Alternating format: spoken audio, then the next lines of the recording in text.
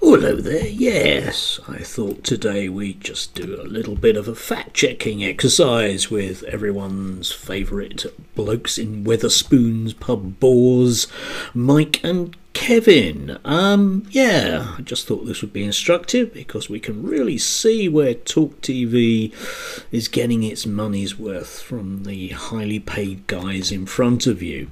It's the type of analysis you just wouldn't get anywhere outside of a Wetherspoons anywhere after 11 o'clock in the in the evening. Any, anyway, leaving that aside, let's move on. Rishi, like Boris before him, uh, and certainly like Theresa May, uh, they've been absolutely useless on the migrant crisis. Yeah. Absolutely pathetically ineffective. Uh, Theresa May, because she, as she's proving right now, she wanted every single migrant to actually come here and let them stay. Yes. Uh, useless, and wet. doesn't want to uh, allow them to become enslaved Yeah, the, the, the, worst prime minister we've ever had, and in that list I include uh, the very brief Liz Truss, uh, and uh, then Boris, who just took the metropolitan view. Oh well, you know, down on the south Yes. I, I, I, Right. I live in London. it's you know. wonderful to have a lot of uh, Yeah. multiculturalism Yeah. in the country, and that's what we're going for. Well, he, he's more, more to the point. He's in the Garrick Club. He doesn't care. Doesn't didn't think about it. Didn't think it was a big deal. Right. I remember it was a couple of years back. It was a terrible November, uh, towards the end of a November, and suddenly I think it was 29 poor migrants drowned in the Yes. channel, and suddenly. Boris Johnson woke up and thought, hang on, we've got a problem here. Mm. Right. So that was when the Tories actually started to try to confront Mm. the migrant crisis. They're still trying to do it now, and it's still a disaster. and overnight, we're being told that they've now got this migrant bill through, Yes. which will make absolutely no difference at all.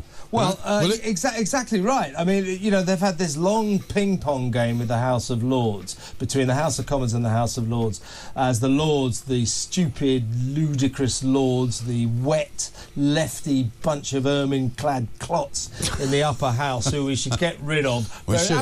That's what the Tories should have a vote on. Let's Yeah. get rid of these lefty Lords. Anyway, uh, the Lords uh, stuck their oar in. They kept saying, no, no, no, you've got to let all the women in, you've got to let all the children in, you've got to let Yeah. all the LGBT That's four, then. Oh, don't send anyone. But yeah, you've got to let all the Yeah, women uh, in. you, you, you, Yeah. and you. How Come many on. women came across Yeah. with children last year? Twelve. Yeah, that's it. How many men? Four hundred thousand. uh, I mean, there is some truth to that. But here's the thing: uh, the migrants bill, which has now been passed through the House of Commons and the House of Lords, Yeah. it has gone through the mother of all parliaments, and it will do absolutely the square root of sweet FA because they won't be able to send people home uh, if they uh, find out that they can't actually qualify for asylum. Yes. Because they have no agreements with any third countries. They won't send them back to France because France won't have them. So where are they supposed to go? They're just going to sit here uh, and wait for the next time they get to apply, and then by about the fifth time they apply, they'll get asylum. yeah, this is always the elephant in the room Yeah. of this discussion. Uh, you know, uh, mindless politician after mindless politician sits there on a chair and say,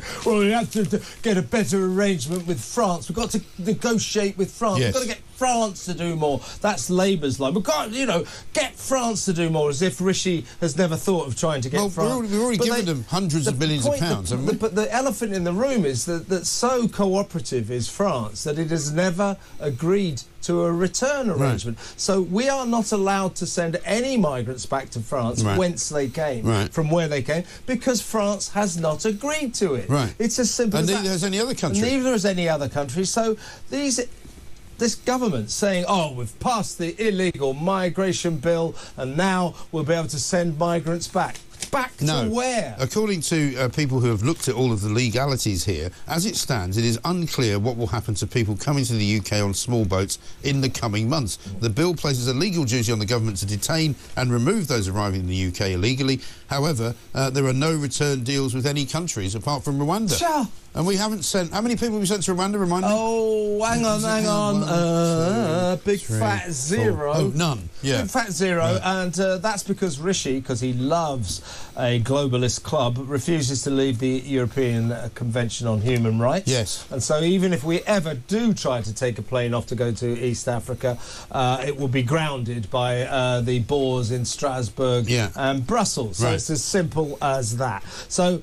This illegal migrants bill, which uh, Robert Generic, Robert Generic as he's known as, the immigration minister says, you know, failure's not an option. Hey, Robert, you've It's the only already, option. You, you've, al- you've already failed. You are failing, Yeah. and you will fail. But this there is- bill will not No. achieve, will achieve the square root of zero. Yeah, Yes, indeed. Anyway, you can see where uh, where all the money at Talk TV goes.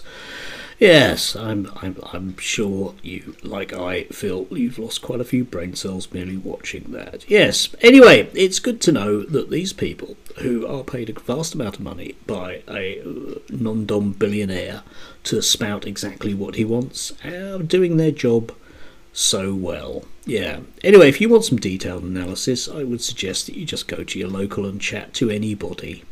I think you might come up with something that's a little bit more highbrow.